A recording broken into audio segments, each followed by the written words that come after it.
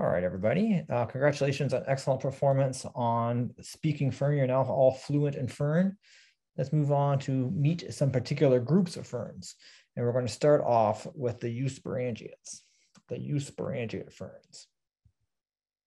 And so going back again, just to our reproductive features, uh, I've already introduced you a bit to a leptosporangium. So these are these thin-walled sporangia they come from a single initial cell and they usually contain 64 spores. Regardless, they don't contain very many spores uh, and they look kind of like this. So there's a fair amount of variation. The leptosporangiate ferns, which I've circled here, are themselves a clade. So this is going back again to some of the terminology we learned in the very beginning, what are ferns. So a group that has a single common ancestor, which is back somewhere around here, and it is in that ancestral lineage that the leptosporangium evolved. Prior to that, so everywhere else on this tree, uh, the organisms had uh, what's called a eusporangium. I'm going to tell you what that is in just one second. So there's only one relatively small group of organisms that has a leptosporangium. Everything else has a eusporangium. And that includes, so this is what a eusporangium looks like. Um, it's a sporangium that is thick-walled instead of thin-walled. It's formed from uh, several initial cells, uh, and it contains many spores. Lots of variation, but, but it differs from a leptosporangium in all of those characteristics. And that's the type of sporangium that most of this phylogeny has, including all of the ancestral lineages back here. And some of those ancestral lineages have uh, extant living relatives that still have eusporangia. Uh, so they have continued to evolve and they now are present with us today. And so these lineages here we call uh, the eusporangiate ferns. And they're what I'll talk about briefly in this session. Um, so we're going to switch orientation for a second. This is a phylogeny again, but this time just of ferns. Um, and so we're going to focus on the eusporangiates, which are these lineages I've colored in red. Um, and just sort of give us a very quick tour through, through each of these groups. First of all, we'll start with uh, the Equisetum lineage. Equisetum is probably familiar to, to many people. These are the horsetails. Um, what might be surprising is that we're including them in a discussion about ferns, because people often think of Equisetum as, as not being a fern. But think back to the lecture, the, the, the module on what is a fern. Equisetum satisfies both of those criteria. It is a member of that clade, that branch of the evolutionary tree. Uh, it also has the same biological features. It doesn't have flowers or fruit. It has the same sorts of um, sporangial arrangement, sort of. Um, it has that same independent gametophyte. Here's a gametophyte of an equisetum. Uh, so independent gametophyte and independent sporophyte. It has vascular tissue. Um, it has all the features of a fern. It's just a very, very strange looking one and, and relatively evolutionary distinct from the rest of ferns, to be fair. It's a very unusual group of organisms. Uh, among the things that makes Equisetum unusual are the fact that they have very little by way of leaves. Almost the entire plant of an Equisetum is, is stem. So all of these things here and that big one in the middle, are, those are all stems. All that's left of the leaves are these little sheaths, these little teeth along the sheath. So this is the what's left of an equisetum leaf. Um, their sporangia are arranged in a funny way, kind of on these weird upside down umbrellas.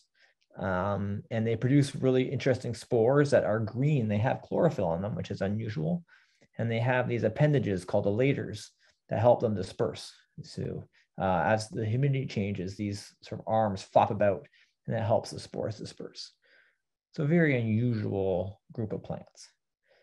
Um, Nowadays, only represented by approximately 15 species worldwide, but most of those species are themselves very widely distributed. So not very many species, but a very wide distribution. Historically, uh, back in the Carboniferous, for example, 200 to 300 million years ago or so, they were super dominant. Uh, they were one of the major lineages, um, most ecologically important lineages, including large tree-like forms such as this Calamites. Uh, so Calamites is an extinct relative of modern day horsetails. Um, and I wanted to include this slide just to emphasize how important uh, the Equisetum group was uh, in prehistory. A lot of our fossil fuels, for example, come from members of this group. but also just to give a sort of a side comment about paleobotany and what a challenging uh, field of research it is, because you don't typically get an entire plant fossilized. Instead, you get all these different portions.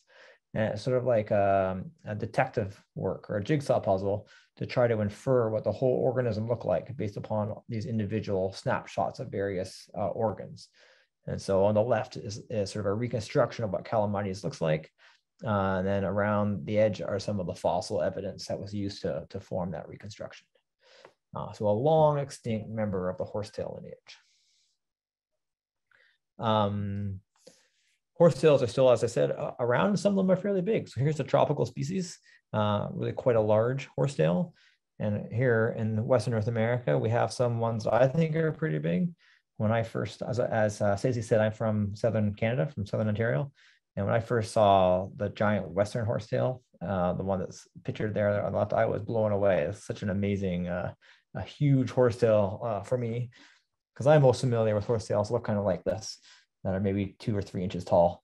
Um, and so there's quite a quite a range of, of horsetail size. This is Equisetum scirpoides, a common uh, eastern, oh, well, common slightly more northern horsetail. So that's the horsetails. Um, the next group I'll mention, uh, it has two families in it. Um, the Psilotaceae and the Ophioglossaceae, uh, which is up here with the PS and the, whatever the symbol this is, and I'll do those each in turn. I'll start with the Ophioglossaceae, which may be familiar to many people. These are the grape ferns uh, or the adder's tongue ferns. Um, they are, are um, moderately diverse. There's somewhat over 100 species of them, uh, mostly tropical, but also quite a few temperate ones, uh, especially in this genus here, the true Botrychium, the true moonworts. Um, these are really unusual in that what looks, the whole plant that we see here, what looks like uh, maybe multiple different leaves is in fact one single leaf um, that is divided into a fertile por, por uh, sorry, the fertile part part that produces the spores, bears the eusporangia, and a sterile part. Um, so like that Polystichum we saw in our last activity, this is an example of an individual leaf that is dimorphic. It has a fertile and a sterile portion. Um, here's a uh, sort of a look at what some of these look like uh, in the wild. So here is Ophioglossum californicum. So this is a adder's tongue that's native here to California. Um, and the eusporangia are clustered in this part of the leaf up here. And here is a true Botrychium, uh, uh, maybe Botrychium lunaria, um, more of an alpine and northern species. Um, and again, here's that, that fertile part of the leaf with the, eusporangia, and here is the sterile part. Really interesting plants. I'm not going to talk about them very much, uh, but very fascinating biology. They are most closely related to this other very strange group of plants called the Psilotales.